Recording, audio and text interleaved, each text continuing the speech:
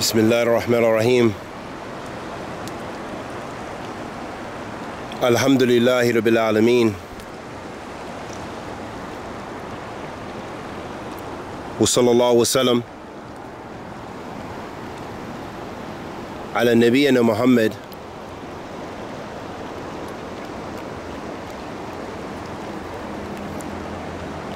وعلى آله وصحبه وسلم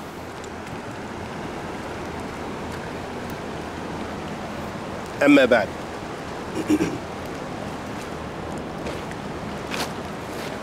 So the Sheikh then said, Hafidhullah Ta'ala, have mercy upon Salafiyah. He said, teach the newly practicing Muslims what will remain with them and what they can benefit from. Do not encourage them upon matters that will disappear with time. Men will die, articles and statements come and go. However, Tawheed, Sunnah, Salat, Tahara, and the main rituals of the religion will remain with them until the certainty, meaning death. So this is the priority for them if you truly understand. Then he says, have mercy upon Salafiyah. Do not corrupt it by the contagious disease of labeling and classifying people and competing with each other in that. The most severe disease I can see today is in two situations. Firstly, ignorance in differentiating between the various groups. As soon as a person opposes them with a statement or article they do not desire, they create a new group, pushing it down the throat of history. So this person can be forcefully ascribed to it. Unfortunately, this has now plagued Salafiyah itself. Meaning that how many people have now made new names for groups based on individuals which perhaps an individual made a mistake or they just differed with it. And Allah understand, we can think of many examples, but we'll refer to name calling here. We'll refrain from it as much as possible.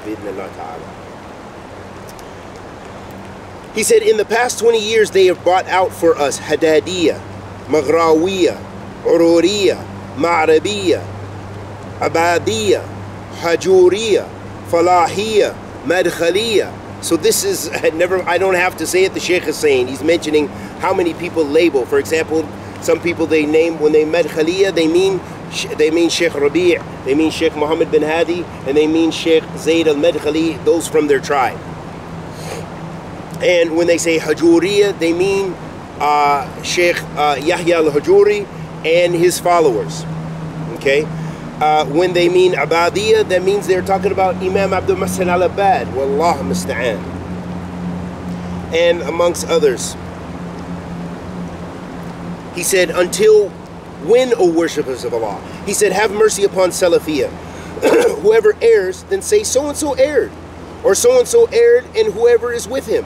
But there is no need for this innovated classification of people, meaning making whole new categories of people and new classifications. Then he mentions the second point that he sees as a very serious error that uh, that is happening today. He said classifying people based upon suspicion and doubt, as well as ignorance regarding what necessitates a person to be ascribed to a particular groups. Not everybody who speaks with politics wears the iqal and cufflinks becomes an ikhwan. So that means everyone who dresses a certain way or everyone who does such and such that they're ikhwan, ikhwan muslimin. This is the point, being careful about quickly labeling people. He said not everybody who goes towards zuhud and dawah becomes a tablighi. Not everyone who makes takfir of the tawagit and the heretics becomes a khariji.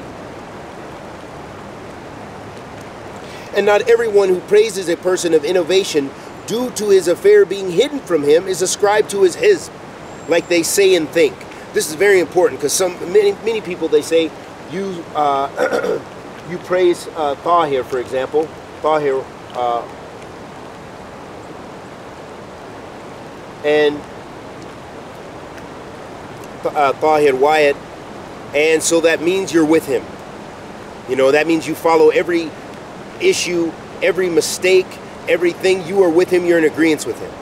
Or how many people have sent me messages about Muhammad Munir, because I did a video praising him, saying what I know of him.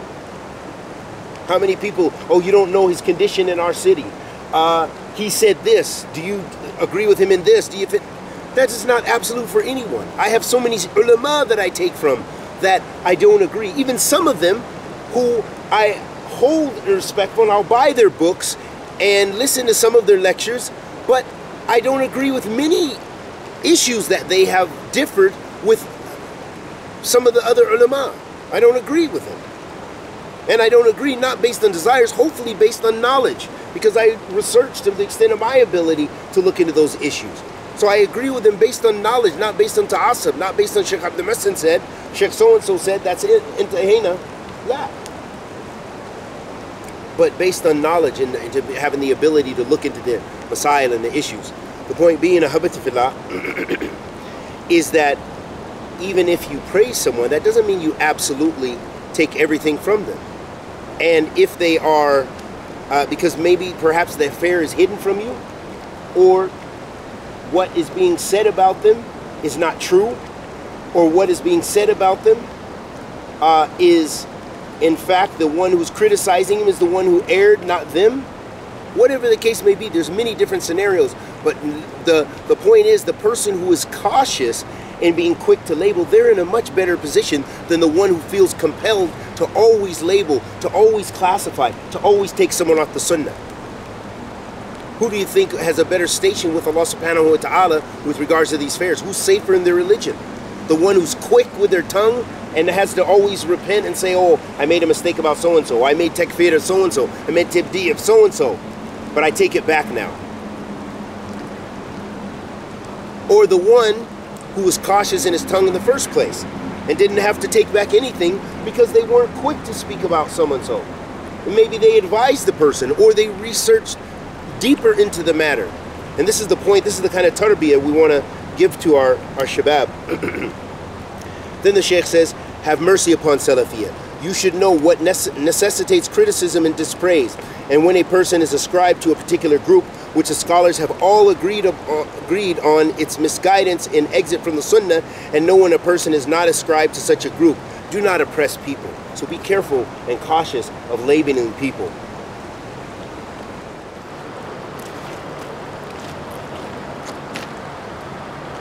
The Sheikh then said, Yes, have mercy upon Salafiyah. You should know the virtue of the scholars even if they slip up and make mistakes.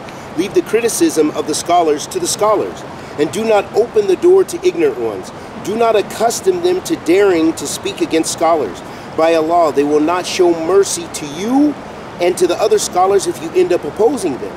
And this has already occurred to the extent that some of these savage rabies dared to speak against Sheikh bin Baz, bin Uthaymeen, Al-Albani, Al-Madkhali, and others than them, La hawla wa la quwwata illa billah. Say to the ignorant person, be silent. From the goodness of a person's Islam is to leave off what does not concern him. And that comes from the hadith of the Prophet sallallahu alaihi wasallam. And then he says, say to the ignorant person, be silent, because the person you are speaking about is a scholar. We ask Allah to forgive him, but he is better than you. He teaches goodness to the people. Many people have benefited from him.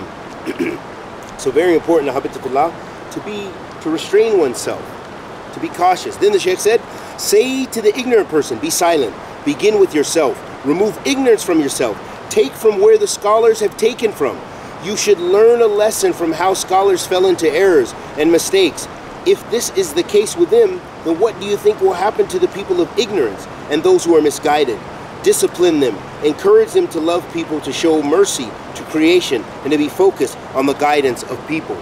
So this is the kind of tarbiyah that we want to institute because this is the asl of Salafiyah. This is what those great imams, if you want to know what Imam bin Baz, al-Albani, uh, Imam Muqbil, and Imam bin Uthaymeen, and other than them, the kind of tarbiyah that they give was not rushing and quick to, to label people and put people into groups and classify them, but rather they were quick to rectify and speak about Ahl Bid'ah and put Ahl Bid'ah in their place, but they rectified.